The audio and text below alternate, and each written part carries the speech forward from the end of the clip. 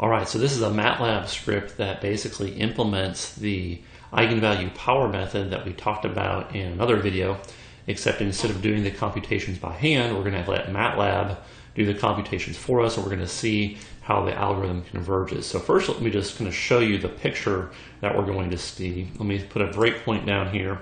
I'll just kind of show you the plot that this script creates. So this picture right here shows the actual eigenvalue as the blue line, and then the initial eigenvalue that we get after one iteration of the algorithm. Similarly down here, the actual direction of the eigenvector of the matrix is the blue line, and our current guess is this red line. So if I let this script run, what we'll see is the, the movie kind of shows how we converge to the true value. Our guess, this red value is getting closer and closer to the true eigenvalue, and you can see how far away we are from the true eigenvalue. And then similarly, the eigenvector gets closer and closer to the true direction and eventually has like an angle difference of zero. So that's kind of what you see when you run this script. Let me kind of show you the code that does that. So if you actually run it, this was the uh, matrix that we did in the previous video. A was the simple two by two matrix. And if we do an eigen decomposition, we can get the eigenvectors and we can get the actual values of the matrix. So this had one eigenvalue of minus 2 and another eigenvalue of 16. Here is my initial guess that I'm going to guess for that we need for the power uh, method. Remember, one of the entries has to be 1. And then this next chunk of code right in here is just me kind of setting up the figure. So I'll just let that run. So here's kind of the baseline figure. You can see I plot the blue line for the eigenvalue that we should converge to. And this blue line is the eigenvector that we should converge to. Here is the actual algorithm now. I'm going to keep track of a vector. So the number of iterations, I'm going to do 10 total iterations. And then this eigen, this value, this vector right here, will keep track of the guess for the eigenvalue on each iteration. This right here is the actual algorithm.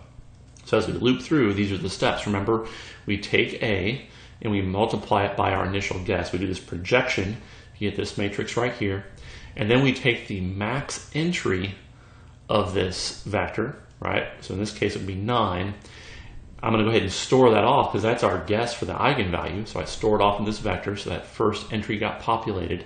And then I normalize the projection by this value. So after I do that divide by, I get this vector right here.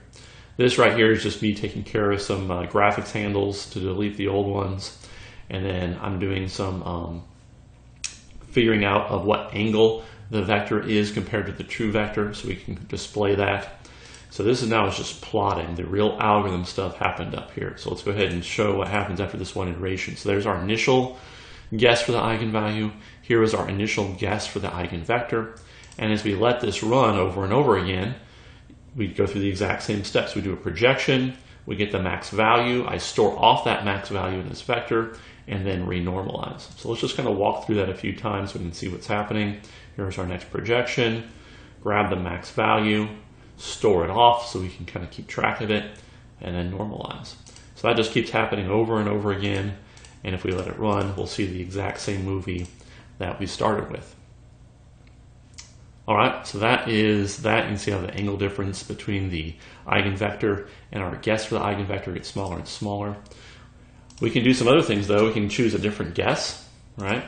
So here I'm going to guess a completely different value, and we'll see what happens very similar thing happens. My initial guess really didn't matter. I still converge to the true eigenvalue and true eigenvector. Obviously, for this specific example, going out 10 iterations really isn't required. By the time we got to three or four iterations, we are really close. Here's another guess. You can see it converge. Slightly different convergence behavior because our guess was different, but still does converge if I use a different matrix, let me comment out that. So this code right here is kind of nice because it lets me control the um, values a little bit more specifically, and we can play games with how close the eigenvalues are to themselves. So here you can see what happens by setting this to 7 and this to 2, I ended up with eigenvalues of 4 and 14. Those are a little bit closer than the eigenvalues were for this matrix. So if you remember, the power method really likes it when you have large differences in eigenvalues. The, the larger that difference, the quicker they converge.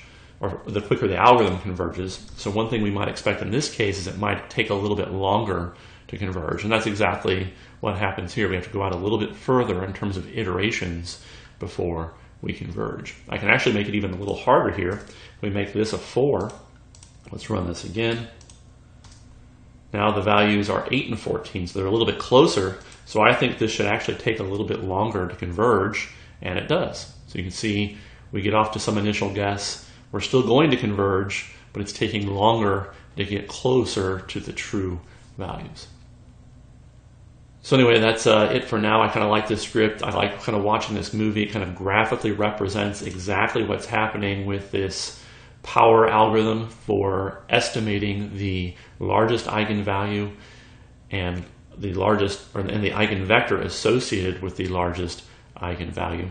You can you know, put in a very specific matrix here if you'd like, or parameterize it in this manner with the eigenvectors here, and then values related to the eigenvalues here to just see how the algorithm behaves as that difference between the eigenvalues varies. Thanks for watching, everyone.